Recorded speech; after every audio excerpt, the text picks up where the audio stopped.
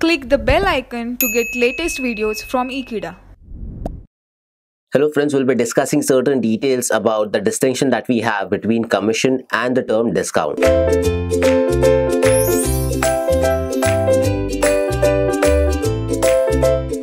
So when we understand the commission and the discount, there is certain difference that we have to observe or that we observe on a daily basis. Commission as well as discount, both are form of income itself.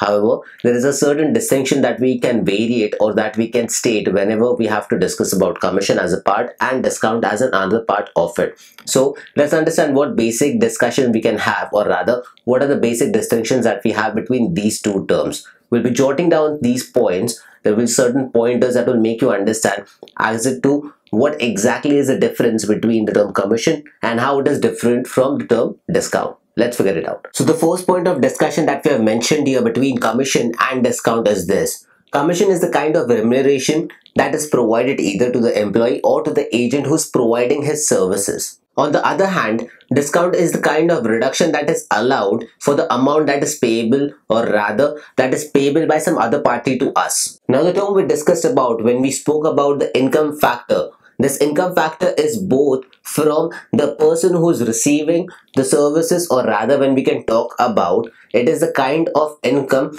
that is receivable on the part of the person who's providing the services and in terms of the person who is payable or is supposed to pay that amount. So when we speak about both being a form of income, commission can be as an income because of the services that is provided by him. So he receives certain income which is a part of commission and discount is a kind of income for the amount that is payable. So for example, if Mr. A is supposed to pay 10,000 to Mr. B and he has allowed a discount of 1,000 that means instead of paying 10,000 now Mr. A will have to pay only 9,000 there so that is the kind of income for him or rather we can talk about a notional income whereby the amount that is supposed to go out doesn't go out completely but it is just a marginal amount that is taken out which is a discount or a rebate. So this is the form of income that we were talking about. Let's talk about some different points related to both these terms. Now the second point of discussion that we have when it comes to commission and discount, we can talk about commission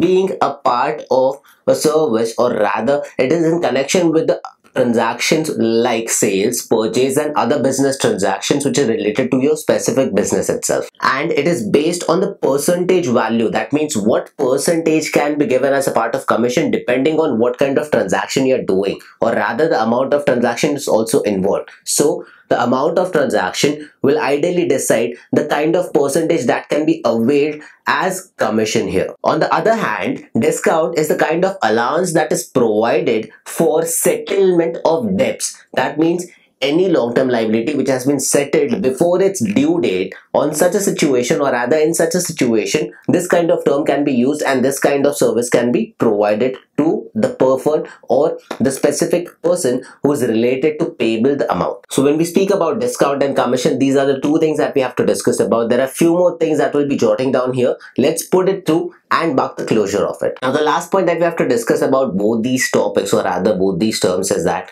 commission is actually the amount or rather we can talk about commission is something which is a form of income as an expense. So when it comes to accounting terms or recording this term in accounting books of entries, then in such situation, when the commission is received, it is a form of income. However, if you're paying up commission as a service or rather for the service that has been provided to you by someone else, then in such a situation, it is marked as an expense here. On the list price, or on the retail price then the amount of deduction that is allowed there is known as trade discount this trade discount in the accounting books is not shown separately however it is shown as a deduction from the cost of purchase for example the purchase has been done for 10 lakh rupees and you have given a discount of 10,000 here. So the amount of total purchase will be 9,90,000 itself and you're supposed to receive only that much of amount and not the exact 10 lakh here because you've provided a discount. So that is the trade discount that we have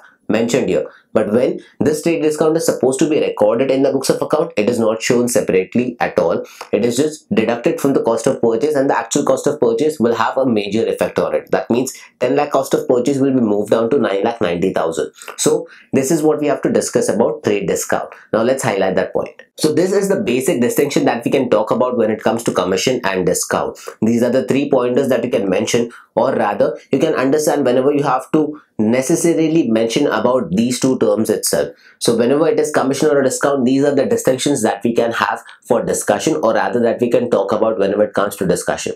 So I hope this gave you a clarity about the distinction that we have to discuss about. So thank you for watching this video. Stay tuned with Ekeeda and keep subscribing to Ekeeda.